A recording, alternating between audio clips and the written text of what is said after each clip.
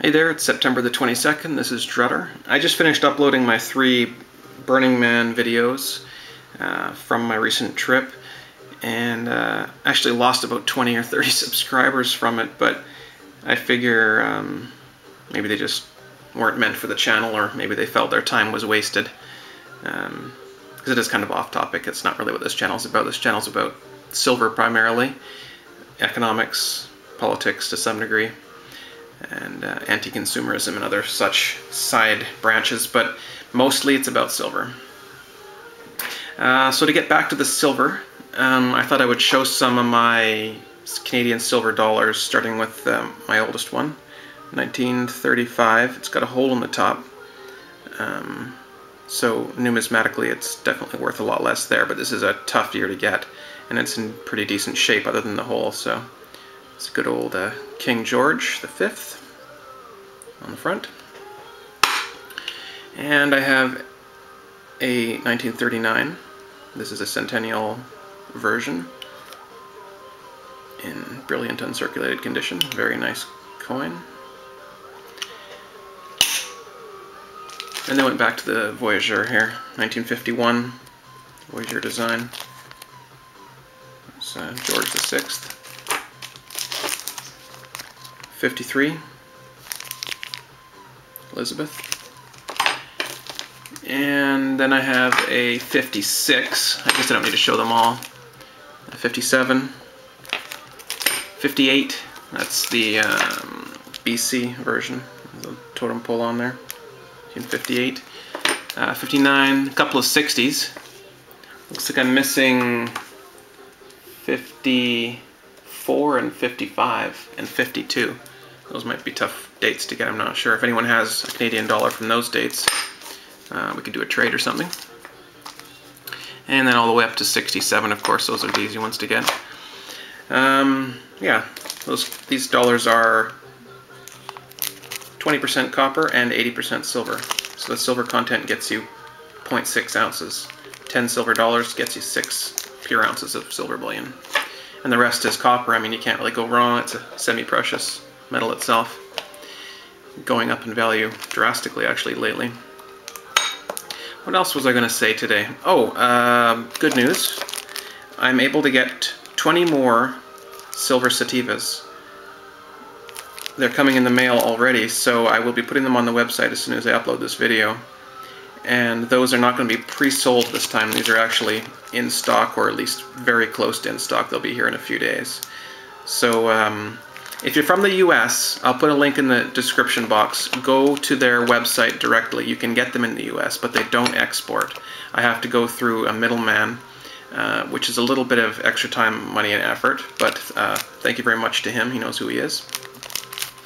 And uh, that's helping me get them into Canada, and from there I can get them to other parts of the world, the UK and whatnot. So if you're looking for uh, one of the Liberty, Liberty Leafs, or also known as the Silver Sativas, and I'll, they'll be on the website pretty soon. I realize the premium on these is a hefty one. It, you, you, aren't paying anywhere near spot. I think I'm not sure exactly what price I'm going to do. I think last time they were close to close to 30, depending on uh, where you want them shipped, of course.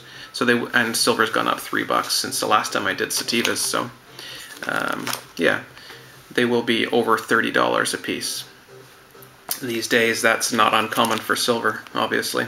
Um, but um, the best bang for your buck, anyways, on uh, Canadian silver bullion would be the Maple Leaf, as it is, uh, well, arguably the best silver coin in the world at $5 denomination and 99.99% pure. Very recognized, very accepted. And um, that's all I really need to say about that. How about that price action in silver lately? Hey, that's just crazy. I can't believe it. It's up now to 21.15, I think. I thought it was going to come back down to $20 before it would go up again. Uh, I think it came down to about 20 and a half a day or two ago, but since then it's just been off to the races. I don't know what's going on. And um, if you do have a good position in silver, you have the opportunity now to sit back and wait and see what happens. And if we get another pullback, then you can buy some more then. Um, if you don't have any silver at all, though, I would recommend getting your hands on some physical silver in your hands, not in a bank vault, not ETF silver, etc. Own the real thing. Have it in your hands, in your house, in a safe, or in another safe location. Don't keep it in the bank, and don't invest in in paper silver. Okay. Um, yeah, like who knows what's going on? This is going to be a crazy fall, I think. Um, there's legal action coming up. Um, JP Morgan is having to close out all their short positions, not being able to manipulate silver the way they have been uh, the past, I don't even know how many years. And uh, GATA's got some things up their sleeve as well.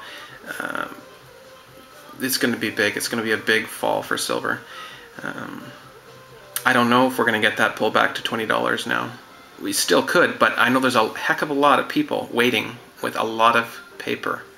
And they're waiting for that silver price just to come down just a tiny bit. That's maybe why you saw it come down to 20 and a half and then just shoot right back up again. I don't know, maybe some, some buyers with some big money just came into the market. I don't really know.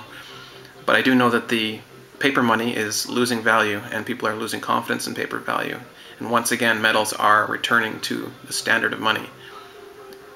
Owning metal, precious metal, especially useful precious metal like silver, is the way to go and is money. Um, oh, recently, about a month or two ago, I reported that the guy that I buy my bullion from, uh, lo a local uh, dealer, told me that there was a shortage of silver at the mint and he didn't have any information at that time. He just knew that he was being told it would be about a month before he would get his orders. So to put in his orders in advance and make them for more than he actually wanted because he probably would be allocated, which means he would get less silver than he actually needed. So I asked him when I was in there last week, how is that going? And he said it's ongoing. Um, he says that the mint you have to buy when you buy from the mint Royal Canadian Mint you have to buy maples in lots of one million dollars a piece. Uh, so you can't these you know you can't just waltz in there and get a tube of maples for example. You have to buy in, in you know multiple monster boxes of tubes of maples, and he said that the supply lines are just drying up. The the small dealers that have small amounts have just been all bought out, and now it's up to the big buyers in the area to sweep in and get those million dollar contracts and have them delivered from the mint. Uh, but like like I said, there is no actual shortage of silver that I know of in Canada. We are still minting the maple leaves, although less than we have been, and the demand is higher than ever. So yeah, it is getting a little tougher to get these, but um, I don't think that I'm going to have any trouble uh, keeping stock, basically. I am going to be able to keep stock. It's just that the guy that I'm buying from is just letting me know that the guy he's buying from is running out on a regular basis and there's about a month delay and he's not getting as much as he would want. Anyways, I'm just trying to keep you guys updated on what's going on locally here in Vancouver that's the word on the street. And I think I'll cut it there. Hope you're having a great day. Bye bye.